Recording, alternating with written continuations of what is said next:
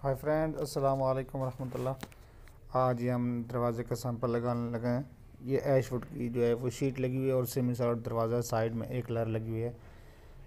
तो ऐश वुड की। तो आपके सामने हम आज ये कलर बनाएँगे और दरवाज़ा तैयार करेंगे। सबसे पहले आपने दरवाज़े के अंदर जो कीलें लगी होती हैं ना ऊपर, वो थोड़ी थोड़ी अंदर कर लेनी है। सारे दरवाज़े की टोटल। और उसके बाद आपने अस्सी नंबर के रेक मार के साथ या सौ नंबर के रेक मार के साथ अच्छी तरह से रेग मार लगा लेना, बिल्कुल। ताकि कोई बीच में ऐसा कोई सिस्टम ना हो कि जहाँ पर आपका रेग मारना लगा हो। कटाई अगर आपकी अच्छी होगी दरवाजे की तो जाके आपका जो है वो बेस बनेगी और आपका कलर अच्छा होगा। तो रेग मार में आपने कोई कसर नहीं छोड़नी। बेशक आप अस्सी का रेग मार ले लें या हंड्रेड का ले लें। तो आपके सामने हम ये दरवाज़ा इंशाल्लाह पॉलिश करेंगे और पूरा प्रोसेस आपको बताएँगे। और अब आपसे रिक्वेस्ट है, सब दोस्तों से, अगर अभी तक आपने मेरा चैनल सब्सक्राइब नहीं किया तो प्लीज़ मेरे चैनल को सब्सक्राइब कीजिए, ताकि मेरी सारी वीडियोस जो हैं वो आप तक पहुँचें। और बेल आइकन को ज़रूर क्लिक करिए, कीजिए। और अगर आपने रेक मार लगाना है तो इसी तरह लगाना है, जिस तरह मतलब लाइनें हैं, दरवाजे की ग्रेन है। ग्रेनों के अपोजिट आपने कभी भी रेक मार नहीं लगाना, क्योंकि अब जब पॉलिश कर लेंगे तो वो नज़र आएगा सारा। जिस तरह ग्रेन है, उसी तरह आपने रेक मार लगाना है। ताकि आपका कोई रेक मार दूसरे ग्रेन के ऊपर कहीं भी शो ना हो। क्योंकि जब आप पॉलिश कर लेंगे और उसके बाद वो शो होगा तो वो बहुत ही अजीब सा लगेगा।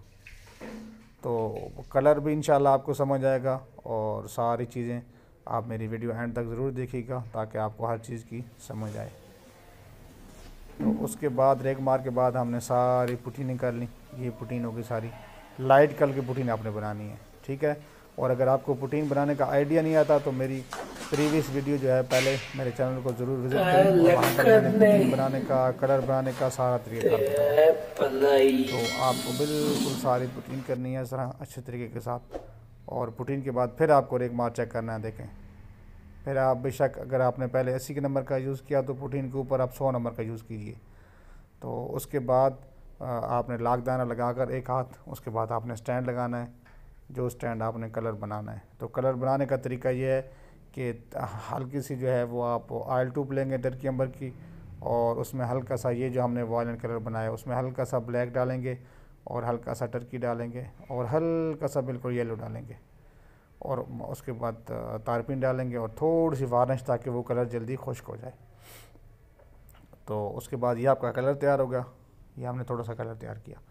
और उसके बाद इसको आपने जो है वो पूरे दरवाज़े के ऊपर लगा देना है। तो फिर उससे कलर लगाने के बाद तकरीबन चार, तीन से चार घंटे आपने उसको खुश्क होने देना है। अगर आप हाथ से ऊपर करेंगे, पॉलिश लगाएँगे पहले तो फिर तो बेहतर है आप एक दिन पूरा खुश्क होने दें। और अगर आप कंप्रेसर से करेंगे तो फिर कोई बात नहीं, आप तीन से चार घंटे उसको खुश्क होने दें।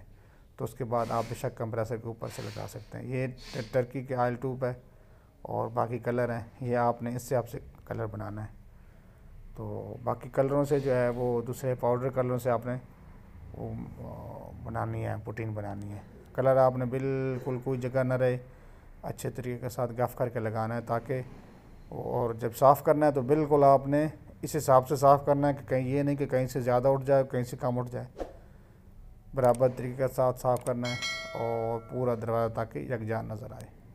ये हमारा सिंगल स्टैंड हो गया और सिंगल स्टैंड के बाद हम उसके ऊपर सीलर लगाएँगे। और सेलर, वो वाली वीडियो थोड़ी सी अजीब सी हो गई थी तो बीच में से स्किप हो गई। मैं आपको जो है वो जहाँ पर हमने तैयार दरवाज़ा किया था, वो मैं आपको दिखा देता हूँ। बाकी प्रोसेस अगर आपको ना समझ आए तो बेशक आप मुझसे कमेंट्स में पूछ सकते हैं, और मेरे, ये दरवाज़ा इस तरह हम सारा बिल्कुल, ये फिनिश हो जाएगा इस तरह। ये भी इस तरह सिंगल स्टैंड दिया तो ये दरवाज़ा दूसरे को डबल स्टैंड दिया हुआ है। तो बिल्कुल इस तरह सारा फिनिश होगा थैंक्स फॉर वॉचिंग असलकम